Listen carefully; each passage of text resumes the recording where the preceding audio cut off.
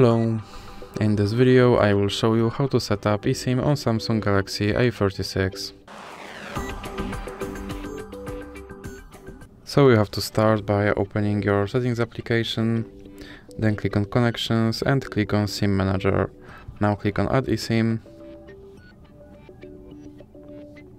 and click on scan QR code. And now you have to scan your QR code and here you have to enter your verification code.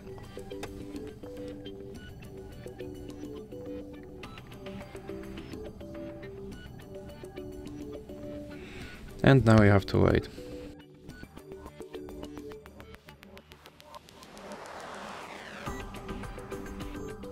And as you can see, my eSIM is now set up.